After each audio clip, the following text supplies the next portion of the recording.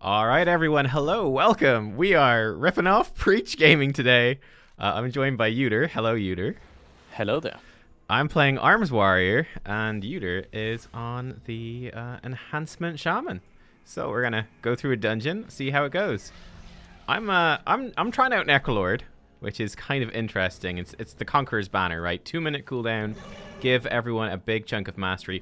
Oh, this is a big pull. I'm popping that mastery, and I'm just going Blade oh, Storming in on top of this.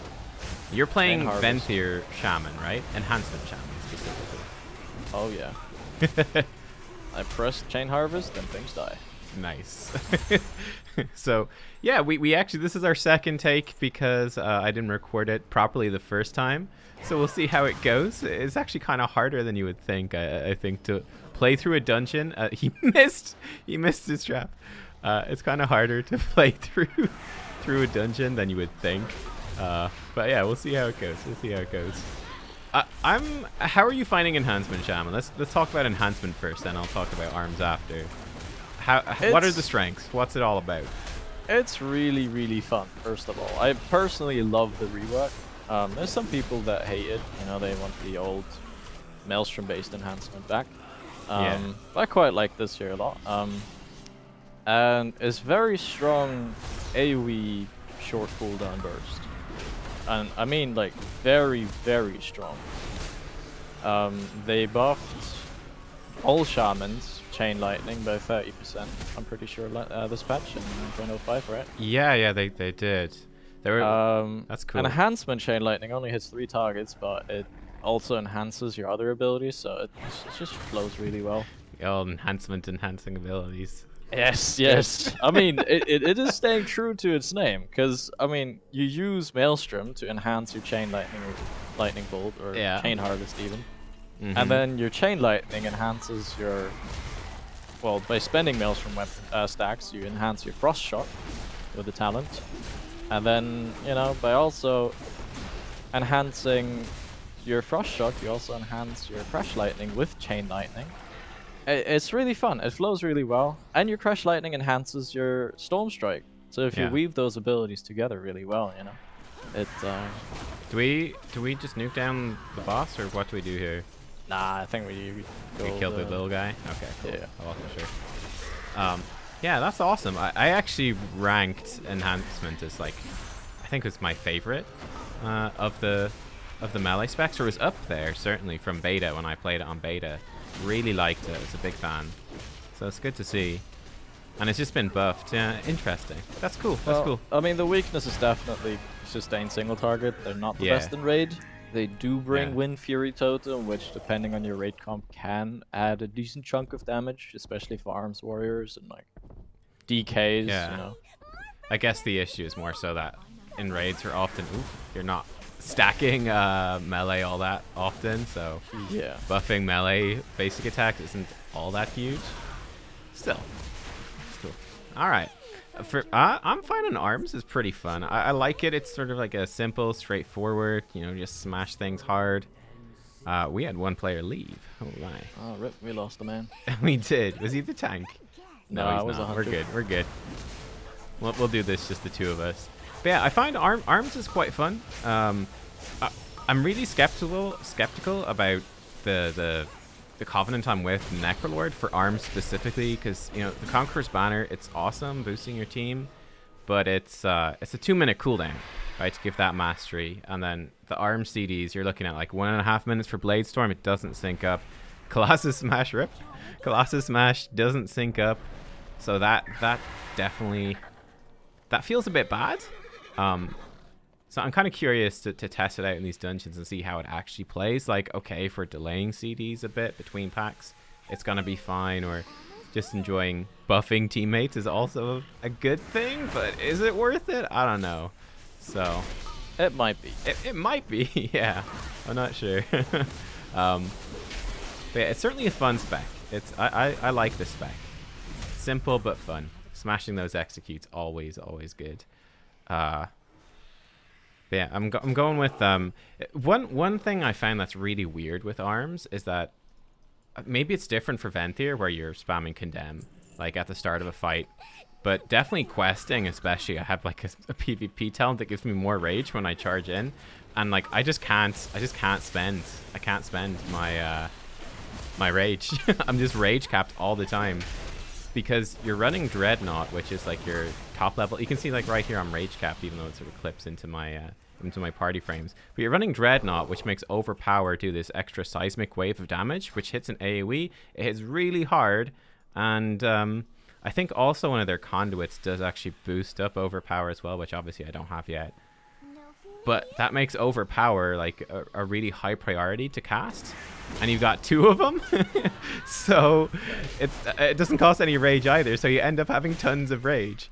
Uh, maybe I'm being enhanced here by Wind Fury as well, is making me hit a bit more but like the amount of time you actually press doing slams and stuff is really low. So until you're in execute and you can start spending big chunks of rage, like even there in execute spamming, I, I couldn't actually dump the rage, which is Yeah. it's kind of weird. You kind of feel like you're supposed to be, you know, using up all your resources. Um, it, it, you feel like man, you're, you're sat sat there spamming abilities, but you're stuck at 100 rage. You're like, man, I feel like I'm doing something wrong, but that's just that's just the way it works. It's kind of bizarre. That's why I'm a little bit worried about with enhancement with the Doomwinds legendary. You're gonna Yeah. get a lot more Maelstrom weapon stacks, and overcapping Right. on those feels pretty bad. Yeah. Um, because obviously you don't like, want to waste any of those stacks to cast, you know, lightning bolts or chain lightnings. Yeah. Um, I don't know, and like that's only a one minute cooldown as well. So like whenever you press your Wind Fury totem, you just get a guaranteed Wind Fury procs for like well, 15 seconds or 12 seconds or something ridiculous. Yeah, yeah. I- Yeah, is the so- range on Wind Fury Totem still quite short? Or Um. I remember that was the thing. Well, the the fight short. It's 30 yards. Yeah, I, th- I, I find 30 yards was a bit short. That was one of my only criticisms, really, of enhancement. Back on the beta, I was like, you could feel like even within a fight that sometimes you could. Uh, which one are we going for? Empty. You could be stuck, sort of feeling like, you know, that you have to recast it within a fight if you're moving.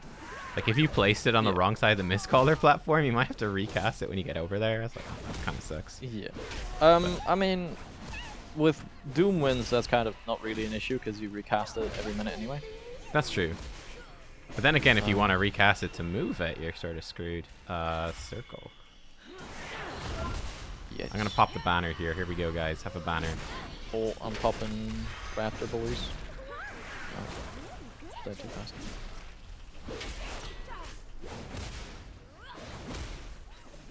Can we burst her down? Can we Chain do harvest, it? let's oh, go! we can. Easy. oh, I get to replace. I was running some Azerite gear from, oh, I think from the Darkshore Battlefront. Let's go. Massive. Big upgrade. um, that's cool though. Yeah, it's cool. Man, your damage there popping off. I actually Yeah. did okay as well. Cool. another thing that's definitely a big weakness of enhancement is, I mean, it's nice to have talent variety, but it's Yeah. also not that nice to have your actual good AoE damage to be tied to a talent. Yeah. Um, which is the Hailstorm talent when you, you know, for every five stacks or five spending a five stack Maelstrom cast, um, enhances your Frost Shock to hit additional targets and like stack damage. Yeah. Um, in single target or in most raid fights, you run Elemental Assault, which just makes your Storm Strike hit a little harder and generate guaranteed stacks of Maelstrom.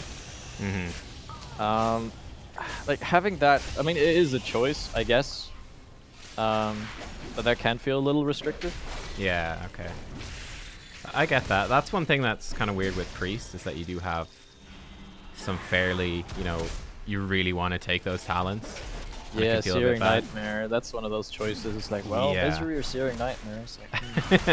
yeah, you kind of want both of them. exactly. You're kind of jealous sometimes of the specs that. I, it, I guess it's the grass is always greener thing where when you're on a spec that does have talent variety, you're like, oh man, but I want all these talents. I wish I could just have the cookie cutter, but then with the cookie cutters, you're like, man, this is boring. I, I want the variety.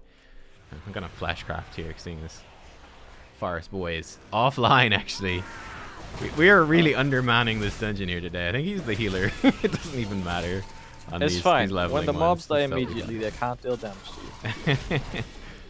they just die so fast. It's ridiculous. Yeah, Chain Harvest. Uh, yeah, have another. that, that's such a satisfying ability. Yeah, so that's the Venthyr one. how much cooldown reduction do you get on it, like at this current gear level? Is it all right? Or Uh, yeah, it's pretty decent. I can use it about well, depending on how many targets I can actually hit. Like a low target count, then oh, I am actually dying. Yeah, I'm I'm running uh, Cleave, which is actually pretty awesome. Uh, they they changed this from the beta. They made it so much better. Oh wait, this is gonna be kind of tough without a healer. Um, but yeah, now it sort of it has the same cooldown as your Mortal Strike does, uh, but they don't share a cooldown.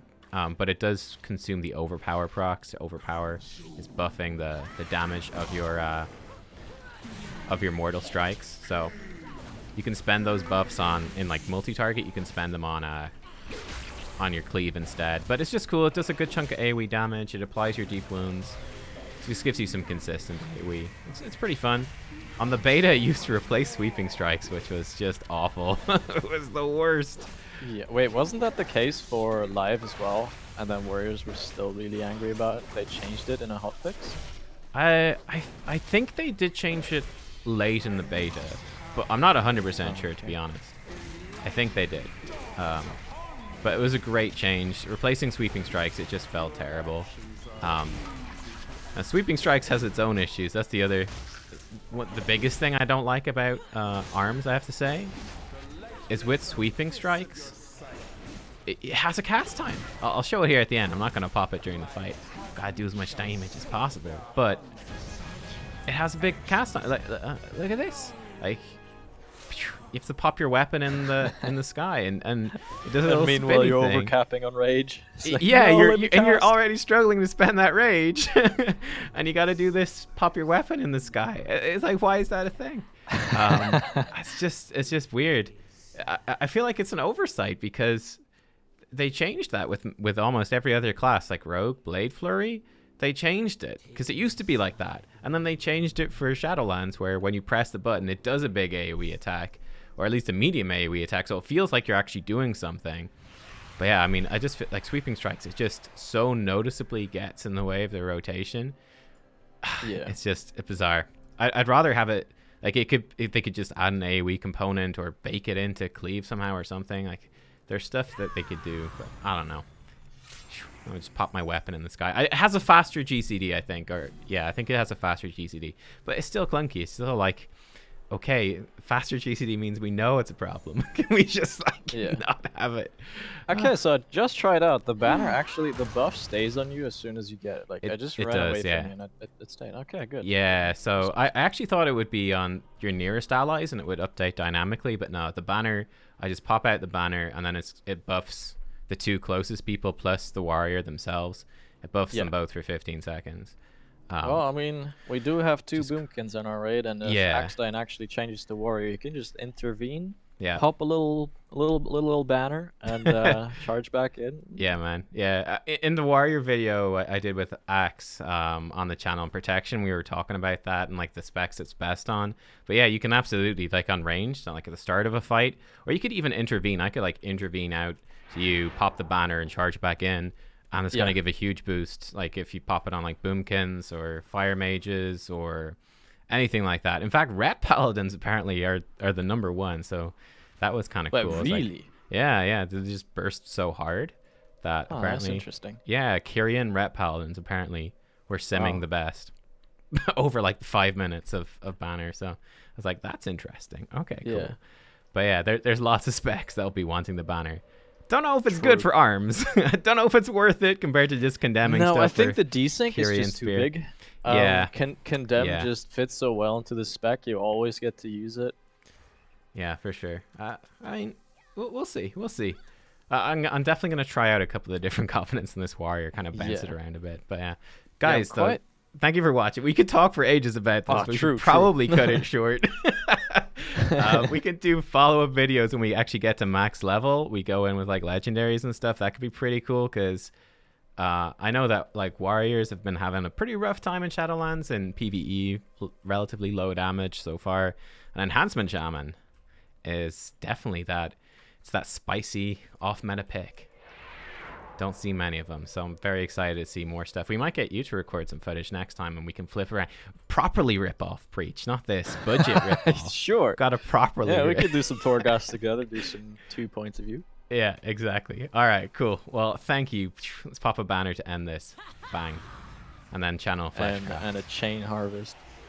Beautiful. All right, guys. Thanks for watching. See you next time. Bye bye.